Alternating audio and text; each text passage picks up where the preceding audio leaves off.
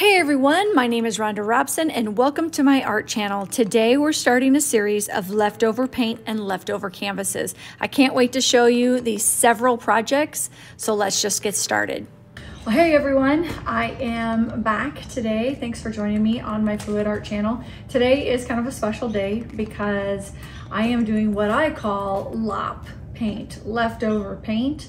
It's been about two years since I've done this where I have taken all my leftover paint and have created what I call LOP paintings. I've also heard people call them everything but the kitchen sink. And so that's what we're gonna do today. I've got about two years of paints that I have um, had excess of. So like this one right here is the excess of, this is LOP mix. So I have scraped it and put it in a bottle or I might have just a tiny bit left over from something I've mixed.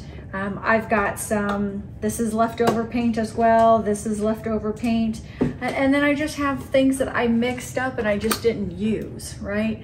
Um, all of it. So today is me taking all this paint from the last two years and taking some canvases that I may have scraped or didn't like how it looked exactly when it came out when it dried. Maybe it moved when it dried. Maybe the surface wasn't level. Anyway, I got a lot of canvases that I want to um, do today. So that's what we're doing is I call it leftover paint or you can call it everything but the kitchen sink. All right, we'll get you down and we'll show you exactly all the paints that I have and then some of the canvases and then we're just gonna have fun. Today is a time to learn different techniques, different, use different uh, tools like this guy here, or maybe a comb, right? It's a great time to learn different techniques and different, um, use different tools. So that's what we're gonna do. We're gonna take all this leftover paint that I didn't wanna throw away, and we're going to make some cool projects. I've done this before and these projects sometimes are some of my favorites. So let's get started. All right, so let's start over here. I've got quite a bit of paint and those there that can work as some background paint, all of this as well. Um, you can kind of see some of it needs to be uh, mixed and shaken and that's fine. I don't really care about bubbles, so I'll just shake it pretty good. Um, and then here's a whole bunch in my iced tea bottles. I save my iced tea bottles and recycle them for my paint storage. And then I have all of this. Some of this is bloom. Some of this is um, for, you know, straight pour. Some of it can be for Dutch pour. But uh, yeah, this is all bloom over here. So it'll probably be really thick and that's okay. And then I even have some right there. So again, this is what I plan on doing. And uh, you can kind of see a, a, few of the canvases over there that I'm gonna use. And yeah, so it should be actually a very cool project. See you in a bit. All right, everyone. Well, here are all the canvases I'm gonna be using. Let's see, there's two, four, six, eight, ten, and not that one there. That one's good. But all of these that are on the floor have all been, I don't know, attempts of stuff. That's I was testing a ton of stuff on that. I tried um, some different techniques on that. That one right there cracked. It was really pretty there in the corner, but it got too thick of the paint. And then I tried some new techniques uh, with these ones back there. And yeah, so this will be fun. Just doing LOP, L-O-P paints, leftover paints. And, uh, or you can call it everything but the kitchen sink. But anyway, we're gonna have some fun. All right, well, here we go. We're going to do this canvas. It's got a lot of cracking. There was one area that was really pretty, but um, yeah, it's ruined. So we're gonna go ahead and get started on this one. Okay, so the first thing we're gonna do is we're gonna put this blue down as our base color and it was definitely a leftover paint that I used. And I'm gonna let you in on a little secret. So this paint, the color dries way different than it did when it was wet. Um, so I can't wait to show you what that looks like later. So I'm just using a palette knife and I'm just spreading it out. I've got this going um, a little faster so that you can see everything, but that it's not necessarily taking up a lot of time.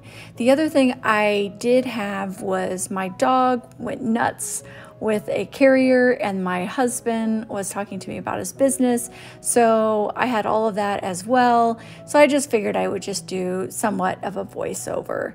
And so once I did that, then what I wanted to do was make sure that everything was level because this did have some texture in it. So I wanted to make sure I got enough paint on the sides and I wanted to make sure that it was as level as it possibly could be. So you can kind of see me going back and forth, back and forth with the weight of the paint and getting the sides.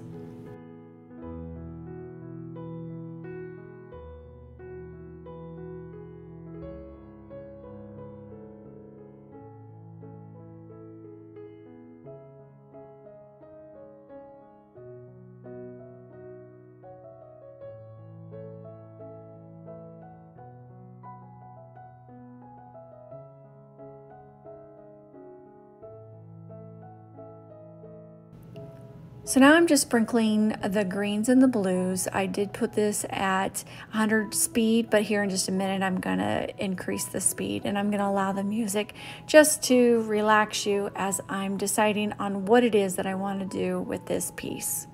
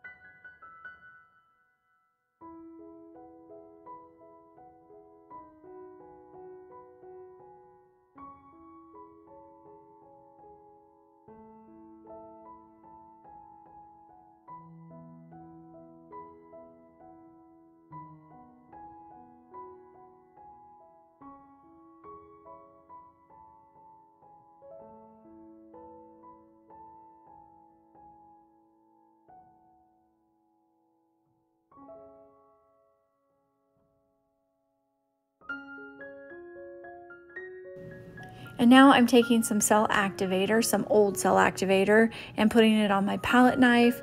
And I'm just going to just swipe the area, kind of zigzaggy, wiggly kind of look. Um, but I, I am just gonna swipe it. I was trying to determine at one time whether I was gonna do white and black or if I was just gonna do white, how I was gonna do that. And I really like the white on the blue, so I really focused in on the white. Um, it was still a little bit not what I was looking for, so I started swiping all throughout, bringing the green in and around the area. Um, what I mean by green in and around the area was just like taking some of the blue and some of the green and spreading it over top of the white.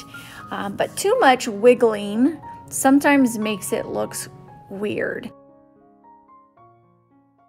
So then I ended up tilting this canvas. You know, it was good. And then I used my comb tool and created a neat little design. So I hope you enjoyed the process of this. I um, like the end results. It's not one of my favorite LOP paintings, but it's not a bad LOP painting. So, um, but the black, but the blue, look at that. It looks almost black, midnight blue. Wow, incredible. Thanks for joining me today. And if you're new to my channel, please consider subscribing and clicking that notification bell. And if you like this video, I bet you're to like these as well. Thanks a lot and have a great day. Bye. Bye.